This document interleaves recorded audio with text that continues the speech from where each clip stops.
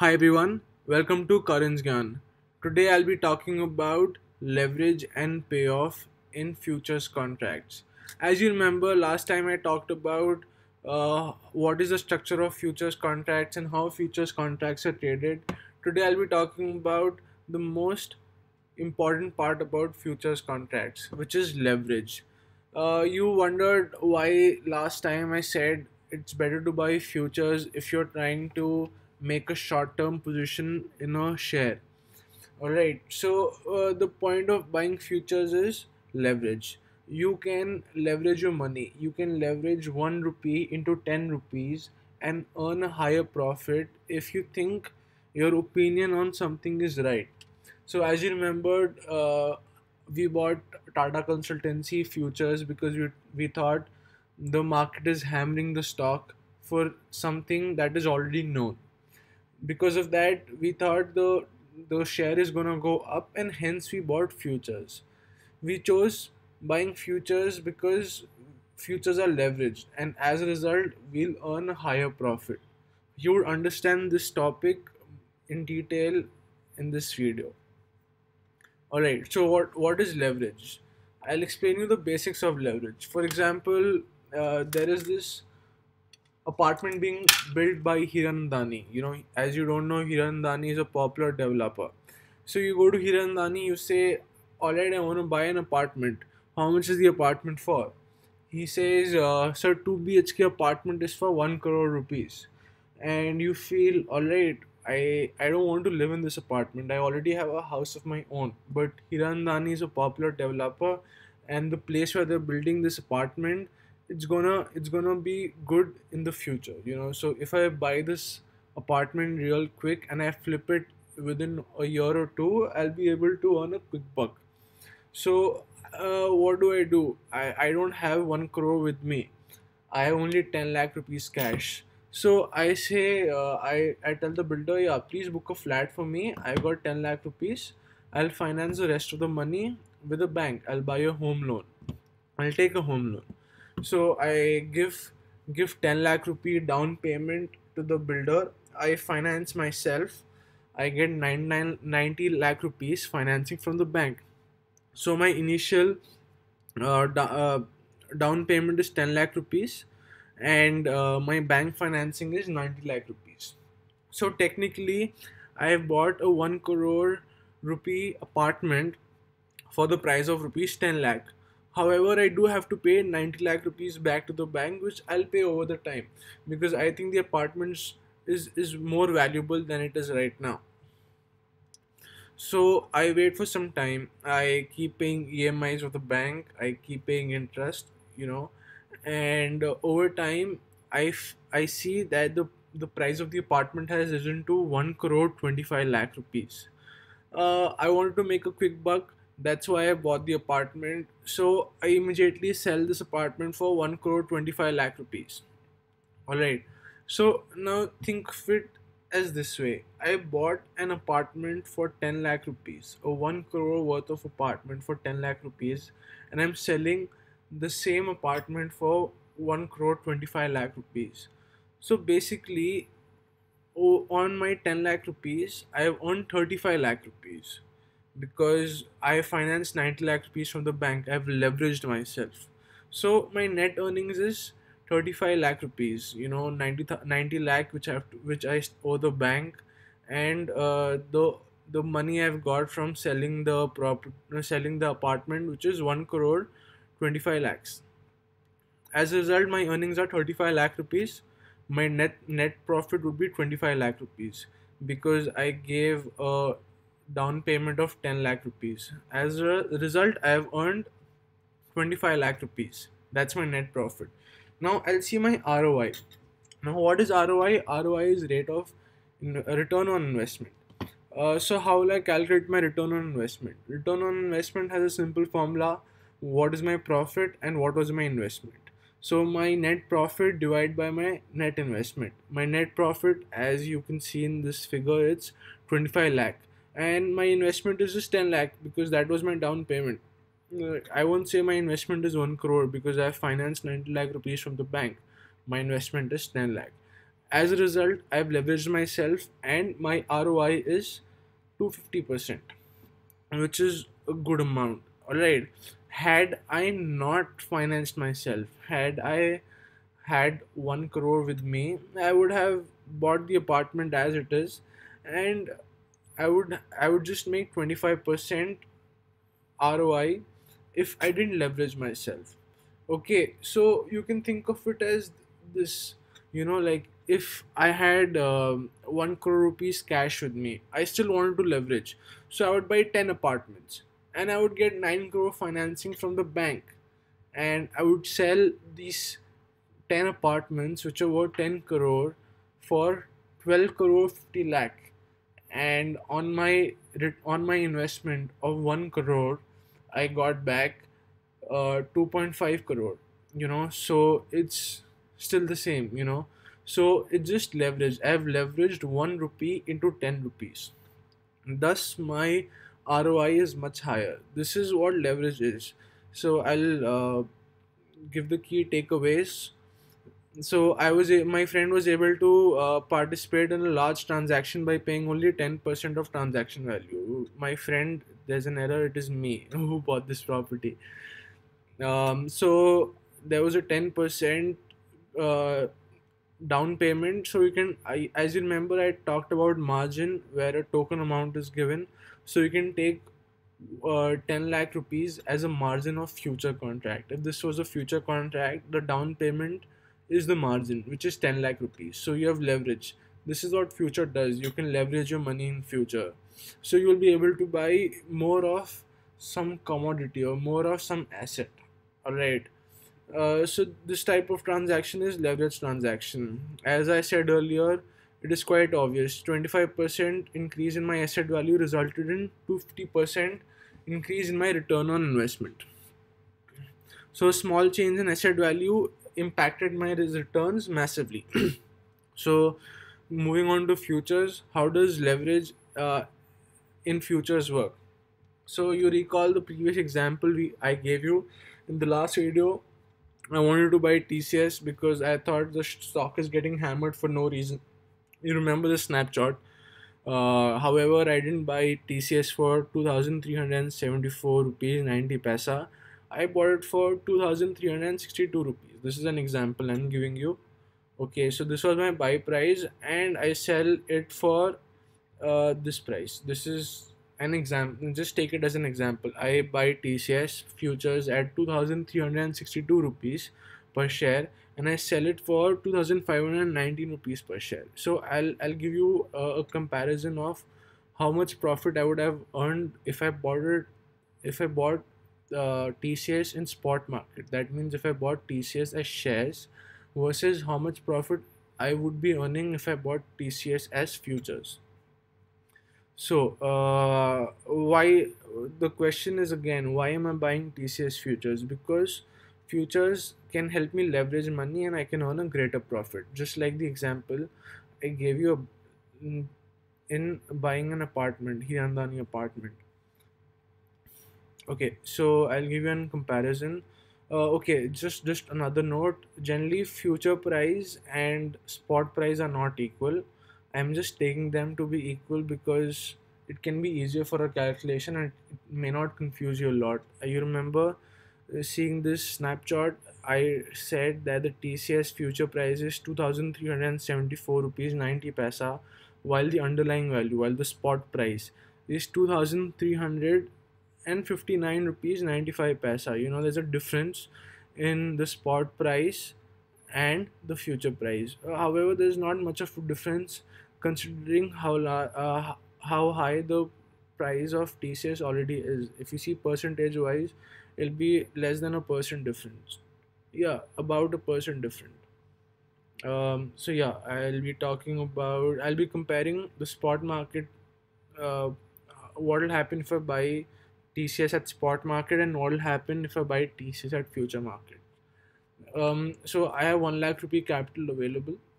Alright, my buy date is obviously the same. Uh, my buy price is 2362 rupees per share. As I told you, the lot size of TCS is 125. Uh, lot market lot 125. so that is the lot size what is the margin you remember uh, i told you in futures there's a margin amount that has to be paid which is basically a token amount this is what helps in uh, leveraging futures so what I'll do is I'll I'll find out the contract value. Uh, recall contract value equals to the price of futures into the market lot size. Price of future is 2362 rupees and the lot size is 125. As a result, my contract value is about 2 lakh 95,000 rupees. Uh, however, I have to pay a margin amount. So margin amount is 14% of the contract value. So 14% of the contract value which we derived earlier is about 41,000 rupees.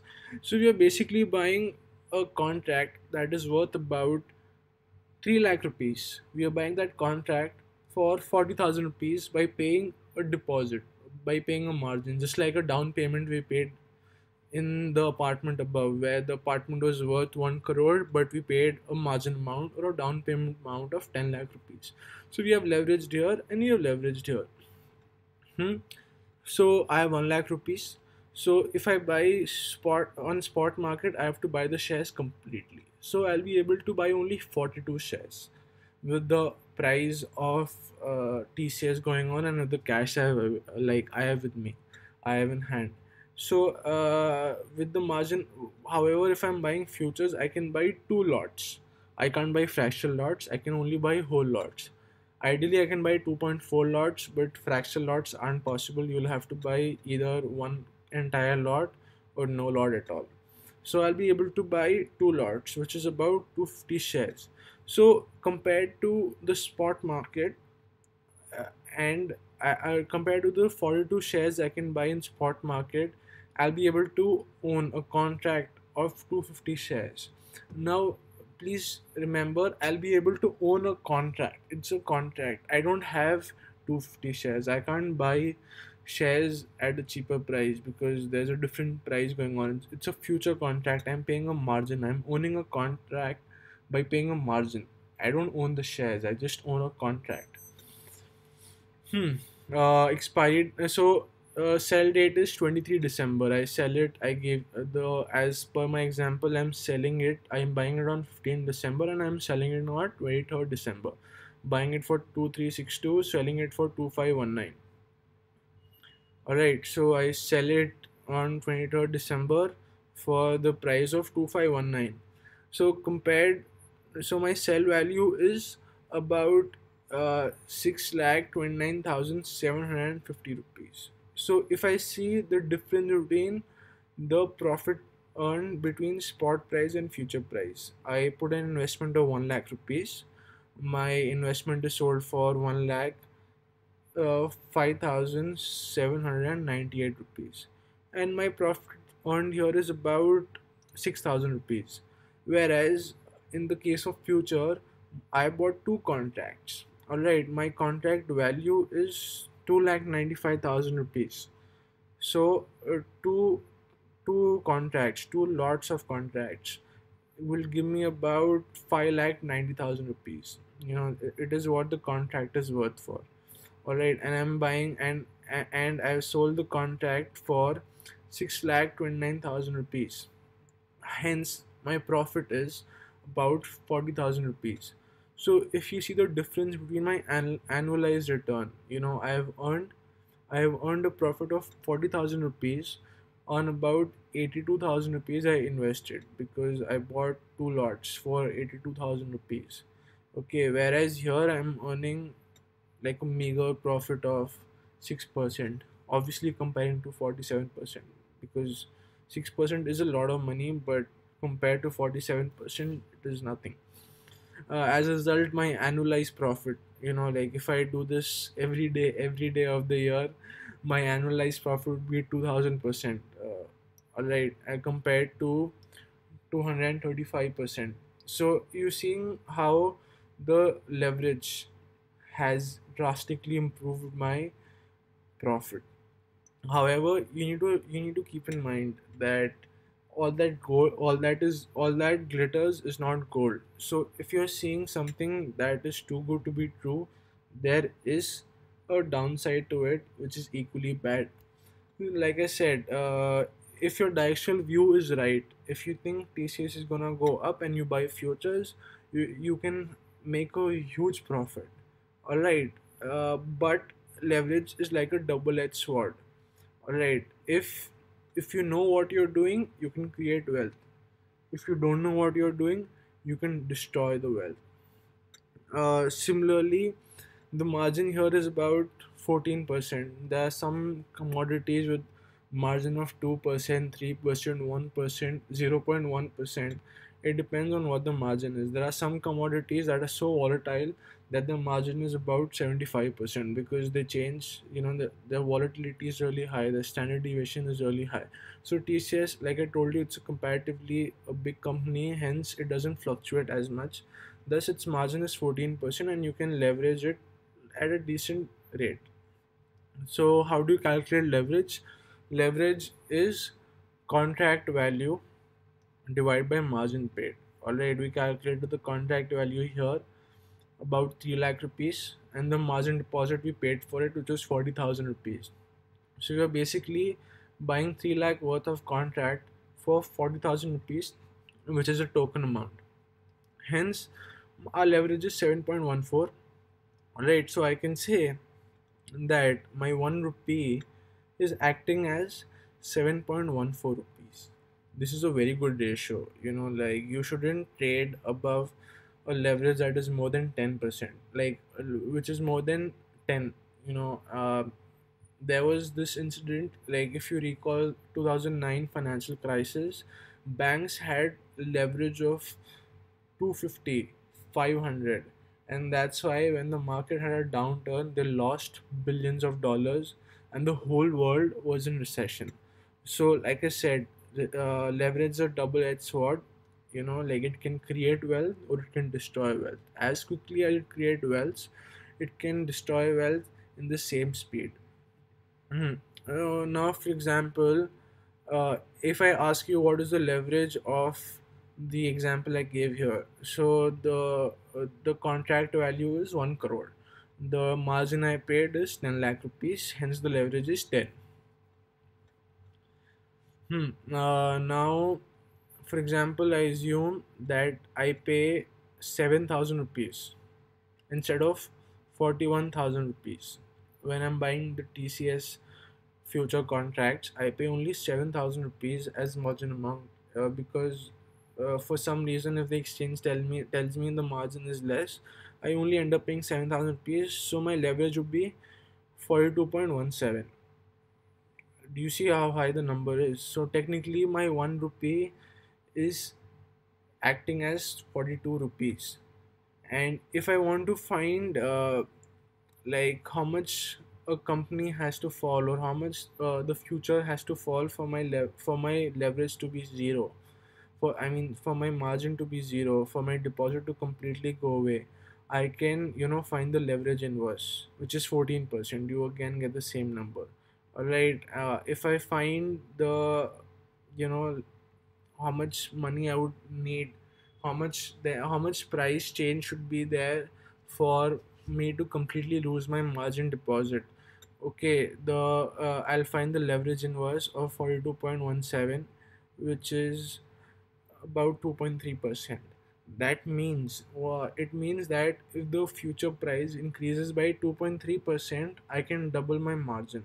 But if the future falls by 2.3%, I can lose my entire margin. I can exp- I'll explain you with a better example, you know, with a more practical example. For example, you remember I sold this apartment for 1 crore 25 lakh rupees. Uh, for example, I if Hirandani doesn't do well, the uh, apartment is a flop show and no one wants to buy that apartment, uh, I, I'll lose a lot of money. All right, so oh, I'll have to sell the apartment at a discount price uh, because I want to get away from the position. I want to lose this uh, losing position.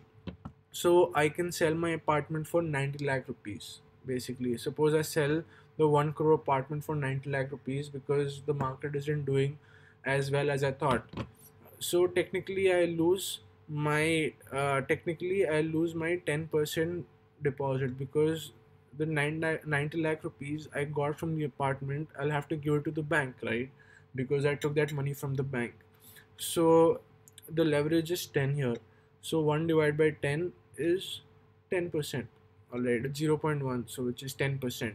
So if the value of the apartment falls by 10%, I'll lose my margin amount. If the value of the apartment increases by 10%, I'm doubling my return. You know, so if the apartment goes to 1 crore 10 lakh rupees you know it increases by 10% uh, my my return on investment is 100% because I'll sell the apartment for 1 crore 10 lakh rupees. I'll pay nine I'll pay 90 lakh rupees back to the bank and I'll my 10, 10 lakh rupees was already my investment and I'm left with the other 10 lakh rupees which is my profit. So uh, leverage inverse gives you how much change in the future contract is required for you to completely get done with the margin you deposited. Uh, like I told you, personally, I don't stick. Like personally, I really don't like leverage. Warren Buffett says liquor and leverage both are bad. So I stick with le- leverage trades that are one is to ten or one is to twelve, not beyond this. I'm not uh, Goldman Sachs or a big bank would lose all their money in mortgage bonds in 2009. So difference between shares and futures. Now, what is the difference between shares and futures? Like I told you, future is based on shares. It is a derivative.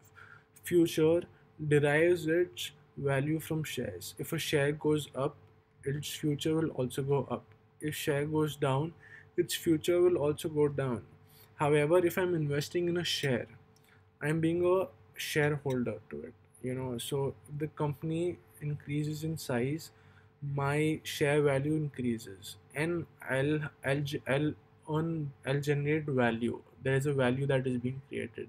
So if I'm owning a share and the share price increases, it's because the company's value is increasing, and there's a value creation in it. However, if I'm buying future, I'm basically betting against someone else who's selling the same future uh, if I'm buying future I'm thinking the share price will go up that's why I'm buying future. If someone's selling future he's thinking that the share price will go down that's why he's selling the future. So it's just like a bet. It's he's just taking the opposite side of the bet. So the money which I lose he'll gain. The money which he loses I'll gain. So in contrast you see future there's no money being created. Money is just going out from one pocket to the next Hence, future is considered as a zero sum game. Whatever I lose, he gains. Whatever he loses, I gain. Alright. So this is the future payout price. It's a very linear graph. You can you can see. I bought it at I bought TCS at 2362. So if I sell it at 2362, my profit is zero. If I sell it more than 2362, my profit is this half the graph if I sell it at lesser than 2362 my profit my loss is this half of the graph. Like you see bracket bracket in accounting terms means negative. If this is a buyer's PNL what do you think is a seller's PNL seller's PNL would be you know just the mirror image of this. It'll be something like this you know because I like I told you it's a zero sum game so whatever is the buyer's profit is the seller's loss and whatever is the seller's profit is the buyer's loss. Alright guys? So this is more or less about how leverage and payoff works in futures. I hope you understood my concepts. If you don't understand any uh, any side of the if you don't understand anything about what i explained you today please ask me a question in the comments. If you like the video please press the like button if you want more videos to come up please subscribe to my channel. And if you want this pdf i can uh, work something out and send it to you. Alright guys have a nice day. Bye